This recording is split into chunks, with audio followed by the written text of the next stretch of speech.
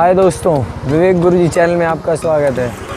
और आज का मेरा burning topic that is Narendra Modi government four years तो उस फोर इयर्स में मोदी ने क्या क्या चेंजेस लाए, मैं उसके ऊपर फोकस करने वाला हूँ पॉइंट्स को, ठीक है?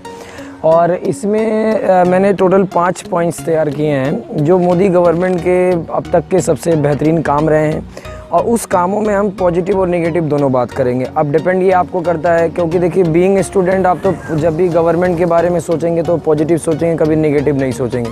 अंडरस्टैंड हाँ लेकिन हमें नेगेटिव एस्पेक्ट्स को क्रिटिकली भी इवेल्युएट करना बहुत ज़रूरी है, क्योंकि टॉपिक का क्रिटिकल इवेल्युएशन भी हमको आना चाहिए। तो सबसे इम्पोर्टेंट चीज़ तो ये है कि यहाँ पे जितने भी पॉइंट्स हैं मेरे, वो पॉजिटिव भी होंगे और नेगेटिव भी होंगे। अब डिपेंड ये करता है कि आप उसको पॉजिटिव लेंगे कि नेगेटिव लेंगे, ठीक है ना? तो सबसे बड़ी बात तो ये कि देखो we are citizen and being a citizen we have a right to criticise any government कि हमारे पास अधिकार भी है, किसी गवर्नमेंट को हम क्रिटिसाइज कर सकते हैं that is our political right sometime this question us by examiner कि what do you mean by criticism of government तो criticism of government is a political right तो हम उसके ऊपर चर्चा करेंगे। तो the main point is what the change that define four years of Modi government the title of my topic is change that define four years of Modi government कि मोदी ने चार साल में क्या किया? देखो पहली बात तो मैं पॉलिटिकल साइंस में एक बहुत बेहतरीन चीज़ तुमको बताता हूँ। देखो अपने इंडिया में ना मैटर ये नहीं करता है कि आ, कौन सत्ता में आ रहा है। कैसा आ रहा है? मैटर ये करता है कि हमारे यहाँ पे एक पॉलिटिकल साइंस का कॉन्सेप्ट होता है, जिसको हम बोलते हैं concept of negativity concept of negativity में क्या होता है कि A B C suppose that there are three parties ठीक है? तीन पार्टी है ए है बी है और सी है.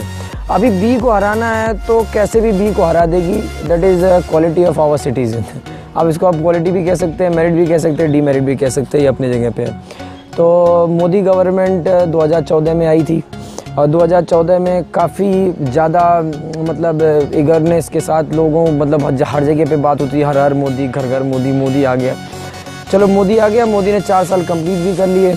अब मोदी ने चार साल कंप्लीट कर लिया तो उन चार सालों में मोदी ने किया क्या? जो मेजर पॉइंट्स है तो मेरे ख्याल से पाँच पॉइंट्स पे हम फोकस करते हैं मेन फिर इसके बाद बातें करेंगे। बाकी आप लोग तो पेपर ऊपर में पढ़ ही चुके होंगे।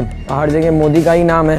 पहली बात तो ये बोलना भी गलत है मोदी मोदी, क्योंकि it's NDA government national democratic alliance अगर हम कॉन्स्टिट्यूशन के अकॉर्डिंग बोलते हैं या एक लीगल टर्म के अकॉर्डिंग बोलते हैं तो that is what N D A government it's not Modi government Modi is our prime minister understand और प्राइम मिनिस्टर का सबसे पहला, जो सबसे ज़्यादा शॉकिंग न्यूज़ थी वो ये थी डीमोनेटाइजेशन ठीक है? तो डीमोनेटाइजेशन के ऊपर मैं दोनों बात करूँगा। पॉजिटिव भी करूँगा और नेगेटिव भी करूँगा। नेगेटिव भी तुम्हें सुनना है पॉजिटिव भी सुनना। अब क्रिटिस अब तुमको उसके अंदर जाके चीज़ों को देखना। तो एट्थ ऑफ़ द नवंबर 2016 रात के 12 बजे मोदी आता है तो बोल देता है कि पाँच सौ रुपये और हज़ार रुपये की नोट नो लीगल टेंडर अभी सबका माथा ख़राब कि नो लीगल टेंडर मतलब कि पाँच सौ रुपये की नोट और हज़ार रुपये की नोट को एकाएक क्या कर देता है? बंद कर देता है। तो देखो डीमोनेटाइजेशन तो अगर हम अपने हिसाब से बात करते हैं तो it's a total fail programme of government हाँ लेकिन इसको आप पॉजिटिव वे में कन्वर्ट कर सकते हैं व्हेन यू आर राइटिंग ऐसे ठीक है सपोज़ दैट आपके ऊपर ये क्वेश्चन आ जाता है, आप असिस्टेंट कमांडेंट का एग्ज़ाम देने जाते हो and there is a question वो क्वेश्चन आता है कि write two hundred words about the demonetisation तो डीमोनेटाइजेशन के बारे में आप लिखते समय मोदी की बुराई थोड़ी नहीं करेंगे, आप मोदी की बढ़ाई करेंगे। क्यों करेंगे? क्योंकि देखिए एग्जामिनर ये जानता है ना कि अगर आप स्टूडेंट हो तो आप सोल्यूशन दोगे। आप डीमेरिट नहीं बताओगे। जब वो क्रिटिकली इवेलुएट करने के लिए बोलेगा तब बात करेंगे। तो 8 नवंबर 2016 को एक बहुत ही बेहतरीन न्यूज़ जो हमने टीवी पे सुनी and that is what demonetisation और जब डीमोनेटाइजेशन हुआ तो सबके जो है कान क्या हो गए? खटाक से खड़े हो गए। समझ में आएगी नहीं है कि ये साला कौन सा डिसीज़न ले लिया कि पाँच सौ रुपये की नोट और हज़ार रुपये की नोट बंद। देखो, मैं इसको एक सिंपल लाइन में समझाता हूँ। देखो our economy is totally unorganise understand our economy is totally unorganise मतलब हमारे यहाँ पे असंगठित क्षेत्र के लोग बहुत ज़्यादा रहते हैं। And our population believes in cash transaction जो हमारी इकोनॉमी है, वो कैश ट्रांजेक्शन के ऊपर क्या करती है? बिलीव करती है। अंडरस्टैंड किसके ऊपर बिलीव करती है? कैश ट्रांजेक्शन के ऊपर।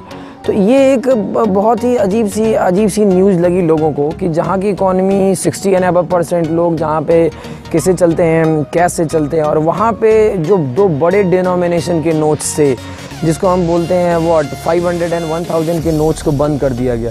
जब 500 और 1000 के नोट्स को बंद कर दिया गया तो इसका कारण क्या बताया गया कि ये नोट इसलिए बंद की गई है क्योंकि हम क्या बोलते हैं ब्लैक मनी को कर्व करना चाहते हैं। अच्छा पहली बात तो ये याद रखिए करेंसी में ब्लैक मनी नहीं होती है। हाँ according to Reserve Bank of India वो टोटल एक परसेंट है। और अभी मैं उसके ऊपर भी बात करूँगा कि मोदी गवर्नमेंट इसमें कहाँ तक पॉजिटिव है, कहाँ तक निगेटिव है। तो I have a very simple example suppose that कि we have a cup of rice हमारे पास एक कटोरा है, जिसमें चावल है। और चावल सफ़ेद है और उसमें एक कंकड़ आ जाता है। ठीक है ना?